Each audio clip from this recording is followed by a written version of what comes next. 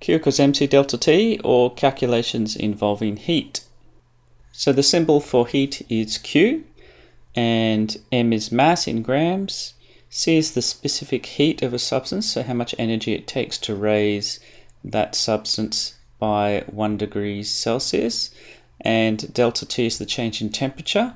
And so the change in temperature, because uh, the change in temperature for delta for degrees Celsius or Kelvin is the same, uh, you don't actually have to worry about units for that one. Uh, so a change in 12 degrees Celsius is also a change in 12 Kelvin in the problem you'll soon see. And we have heat change per mole. Uh, so the delta H really with a, with a zero there uh, at standard conditions uh, is divided by the number of moles. And so we're moving on. So how do we do these experiments? We will try and prevent heat uh, from going in or out of the system by using insulating materials. Uh, the mixer here is to make sure it's even within the reaction and this is the temperature readings that we take here. So what we normally do is we normally use water because it's a chemical reaction and so we make the volume of the water equal to one gram. That's our basic assumption. So the IB likes to ask you the errors in these things. They love to put a one or two mark question at the end of a, a, process question. The biggest thing is that heat is lost from the surroundings. It's almost impossible to stop heat being lost. The other thing is uh, when the temperature gets really high, uh, the rate of loss is actually a lot, lot quicker as well. So that's the heating curve for water. Uh, so we'll have a look at the graph in a second. You can also go for the precision of the thermometer, not uh, not the greatest one. These ones are probably a lot better. So have a careful look and see if gas is, is evolved. So gas will be leaving the system, so that'll be hot gas. And have a look to see if there are other sorts of interfering ways in which heat can come in or come out of the system. So this graph shows you a typical reaction where it heats up. It could be in the reverse for cooling, and so you do the same thing in reverse for one that gets colder. What you can see is as the reaction progresses, it's actually losing heat as well. And as I mentioned before, the hotter it gets, the quicker it actually loses heat. So, uh, so say if that was 100 degrees and that's your cup of coffee, uh, quickly goes down to something like 80 or, or and then it, it's quite slow to get to the final down to 30 degrees or whatever it is if it's a summer's day. And so what you have here is a continual cooling. So you need to do your line of best fit here. And these questions do come up.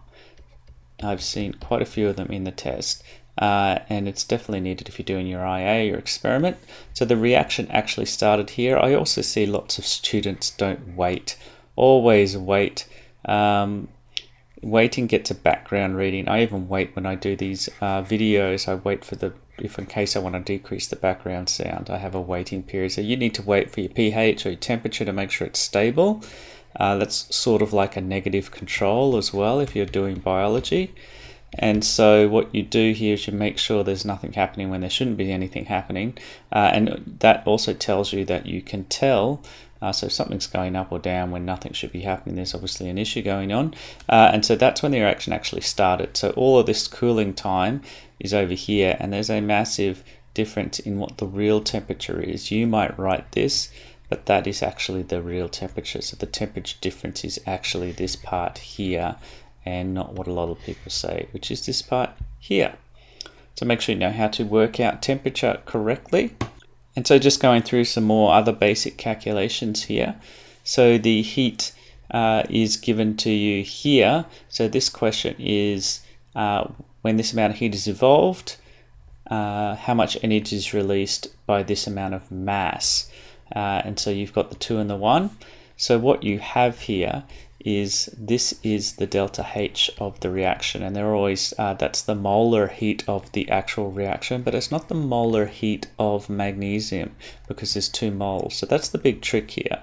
So you have to divide it by two and minus 600 kilojoules per mole is the molar heat of combustion of magnesium but it's not the molar heat of the actual reaction because you need two magnesiums to get the balanced reaction to work through once uh, and so that's probably the biggest trick.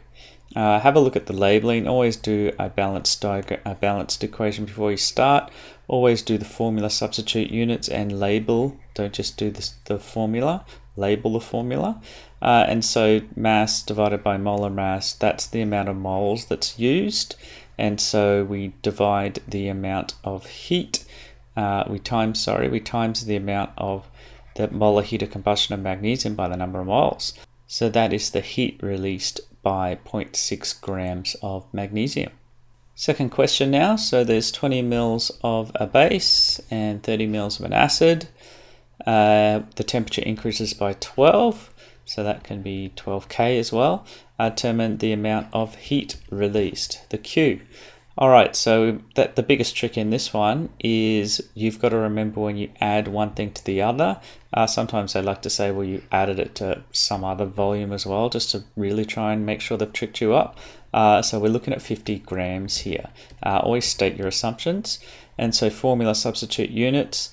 Um, so there's the formula there, Q is, M, Q is MCAT, MC delta T. We've already ticked off the 50.